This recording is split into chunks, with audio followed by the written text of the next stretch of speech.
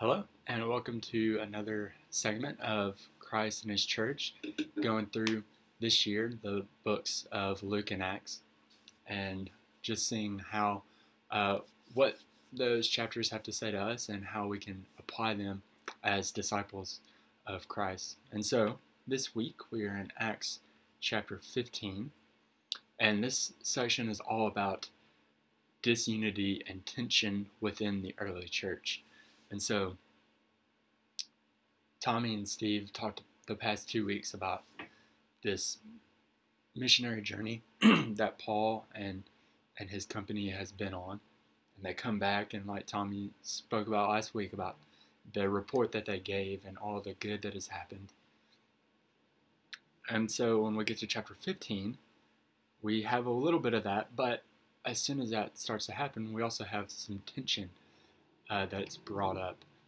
Uh, and it's cloaked in this issue of circumcision, but the real issue is the Jews are, are having trouble with these Gentile believers.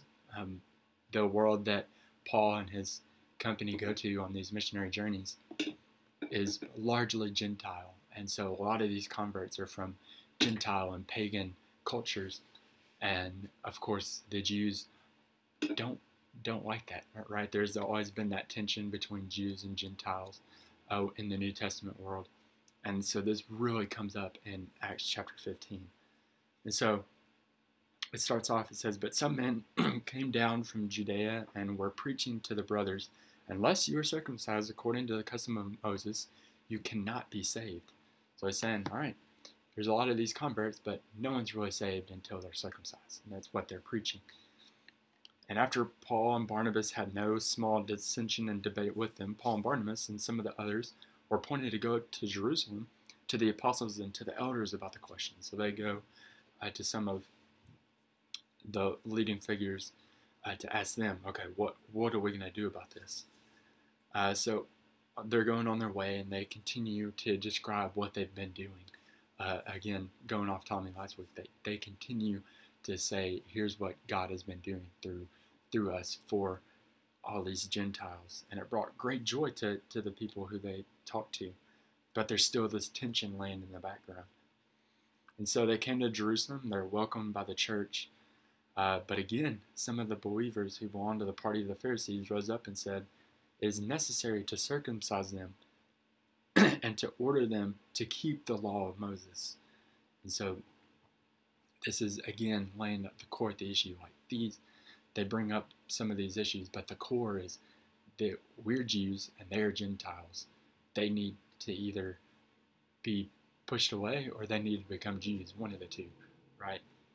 Um, but Paul's going to get up, or sorry, Peter gets up and he delivers this speech uh, and he says, um, "Brothers, you know that in the early days God made a choice among the word among you by the mouth of God, uh, that by the mouth of God the Gentiles should hear the word of the gospel and believe. And God, who knows the heart, bore witness to them by giving them the Holy Spirit, just as He did us." In verse 10, now therefore, why are you putting God to the test by placing a yoke on the neck of the disciples that neither our fathers nor we have been able to bear? It's like you're you're placing all these requirements and and burdens on the Gentiles, but you have to remember, our fathers couldn't even keep the law, right? We can't even keep the law. Um, so why why are you trying to do that to them? And then verse eleven, but we believe that we will be saved through grace of the Lord Jesus Christ, just as they will. And so there's the the basic point of his speech, right? He gets up and he's like, okay, you're trying to place, place all these laws and requirements on the people that no one has ever been able to accomplish. But he, he says, look, if anybody is going to say, be saved, whether it be the Gentiles, whether it be our fathers, whether it be us, uh, whether it be you, it's through the grace of Jesus, right? That's what's going to save, uh, not holding to the law perfectly, because no one can do that, right? And so, if anyone is going to be saved, it's through grace. And so the assembly fell silent, and they listened to Barnabas and Paul as they related the signs and wonders that God had done among them through the Gentiles. Again, uh, Paul and Barnabas are saying, look what is being done uh, in this Gentile world. And so they finish speaking, and then James gets up and again addresses, addresses this question. And he quotes from uh, Amos, but uh, talks about the prophets. He said, look, this is what the prophets have, have been getting at all along.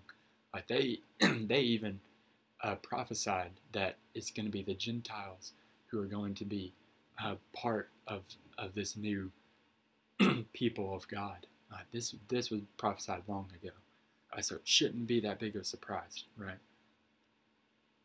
And so they think, and they're okay. What what are what do we need to do? Um, therefore, the judgment. My judgment is that we should not trouble those of the Gentiles who turn to God. Uh, so we shouldn't make it harder on them, but instead, we should write to them to abstain from the things polluted by idols from sexual immorality, from what has been strangled, and from blood. And so he points out four huge things in pagan uh, Gentile culture that that they would have been around every single day, right?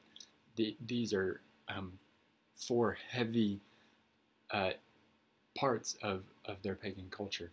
And so he's he's saying like we shouldn't trouble anymore, but instead we should write to encourage them so they've been given this new law of Christ. They've been shown the way of Christ. Instead of, of like troubling them even more, we should say, hey, let's encourage them to say, look, there's there's these things in your world that you're going to see every single day, and they're going to be big pulls for you. But uh, don't give in, right? Stay strong and continue in the faith. Um, and so that that's that's the message that that James wants to send uh, and is the message that they end up sending in verse 20, uh, 22 through 29 in the letter that they send. It's okay. Um, we just want to write and encourage you to stay away from these four things. Um, so a reminder of one, okay, the world around us uh, is not a emblem of what we should be doing, right?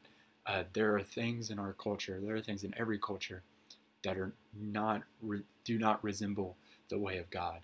And so, what are what are some of those elements in our culture that that we should stay away from? If if James and the council were writing a letter to us uh, in our day, what are the four things that they would say? Hey, you really need to watch out for these things in your world because every single day when you walk out your door, you're going to be pulled to these things.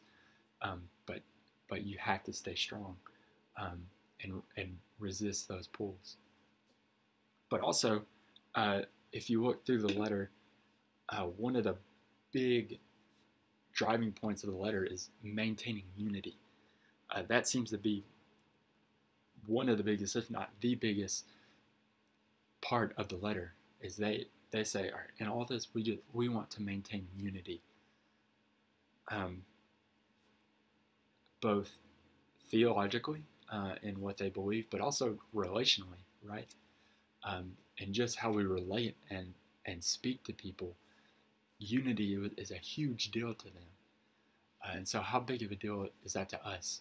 What am I doing um, to build unity within our body here at Red Bank, whether it be theologically or, um, and probably most importantly, uh, relationally? I would say we, uh, theologically, we all stand on um, similar grounds, but man, relationally, a lot of times uh, we do not stick to the driving force of how can I maintain unity.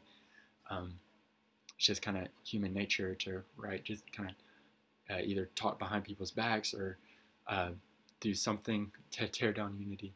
Uh, but what if I approached every day, every um, moment with our church body to say, okay, what can I do right now what can I do today? What can I do um, this Wednesday night? It's it's a Wednesday morning, so we'll be gathering together Wednesday night.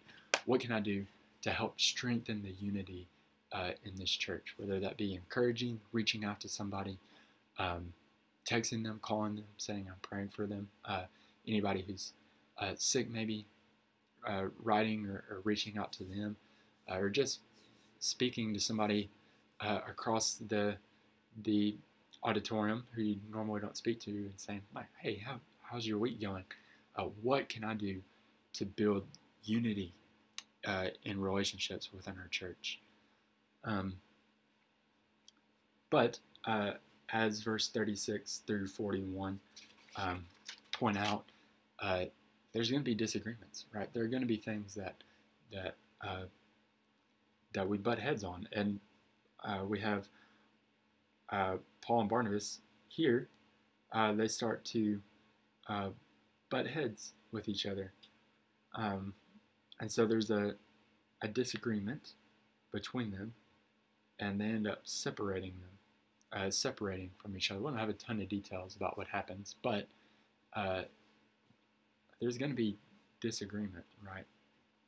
Um, but uh, one thing that that's pointed out, two things that are pointed out in this section, is one, the work of God, uh, the work of discipleship does not stop. Uh, even in their disagreements, they say, "Okay, we have a job that we need to do." So they take uh, they take people with them and they say, "Hey, we're here to spread the gospel. So that's what we're going to do. Um, so the work of God continues. But, uh, and going back to the letter, um, there's a really cool section that it says in verse 30 So when they were sent off, they went down to Antioch, and having gathered the congregation there, they, they delivered the letter that the council writ- had written. And when they had read it, they rejoiced because of its encouragement. Um, in all this tension and debate, uh, they end up handling all that in a way that encourages uh, the people around them. So, when disagreements arise, when um, things happen, how can I handle that in a way that encourages the people around me uh, instead of tearing down, which is so easy to do, right? But how can how can I be an encourager uh, and a relationship builder within the church? Um, hopefully, that's given you some stuff to chew on. Hopefully, you can uh, take some of that and say, okay, how can I help build, encourage, uh, and um, strengthen the unity here at Red Bank? Oh, I hope you have a great rest of the day, and uh, we'll see you next week.